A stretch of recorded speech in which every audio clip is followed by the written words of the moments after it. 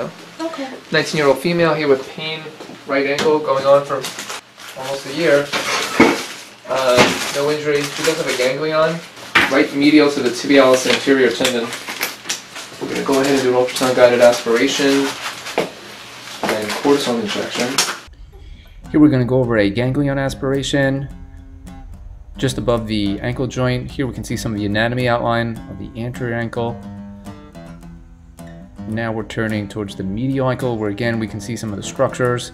Here is this fairly sizable ganglion cyst just medial to the tibialis anterior tendon extending proximally where much of the cyst is proximal to the tibiotalar joint. And now we're removing much of the anterior structures and we can see how the stalk of this ganglion is essentially between the navicular and the medial cuneiform bone. Here again are some of the deep structures and some of the neurovascular structures of the anterior ankle as well. Now we're bringing back the anterior structures and here are the positions of the ultrasound probe with the needle. This is an in-plane approach where the ultrasound probe is in an anterior sagittal plane and we're essentially just putting the needle right in that proximal lobule of the cyst and we're aspirating the cyst, getting that thick, clear gelatinous material. Now we're just removing the probe just so we can see the structures more clearly. Here we are zooming in. So most of the cyst has been aspirated, and now towards the end of the procedure, we're just injecting cortisone in the cyst. We're at 1544. You can see this pretty large ganglion cyst. There's a little stalk here, and it's just medial to the tibialis anterior tendon, which we can see over here. Can't really follow that down that stalk. Clip again.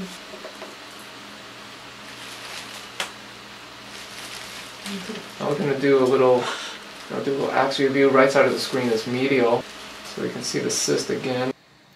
And here we can see the tibialis anterior tendon that looks black secondary to anisotropy. This is somewhat, and then you got the tibialis anterior tendon Here it is again, black from anisotropy. It looks just like the cyst. right next to it, which is coming in and out of view with anisotropy. Here again, you can see it without anisotropy as you toggle the probe and it looks like a normal tendon. So you don't want to mistake that for the cyst. At this level, I believe you're at the inferior extensor retinaculum, which you can see overlying the tibialis anterior tendon. there's another lobe to it, so it's not just a simple little cyst.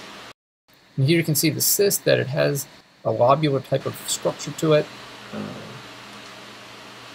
there's the tibialis anterior tendon. Here we are starting the procedure using an 18 gauge needle as we anticipate thick fluid from the ganglion.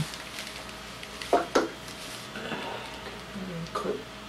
Again, you're just going barely under the skin here. You want to be careful that you don't get into the tibialis anterior tendon, which you can see here is very close to the ganglion.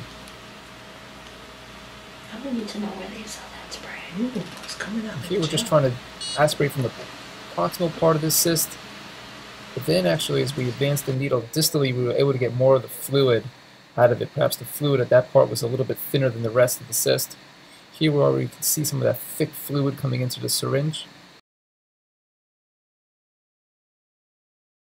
And now we're just doing our cortisone injection after the aspiration. See a little blush of fluid there go into where the cyst was.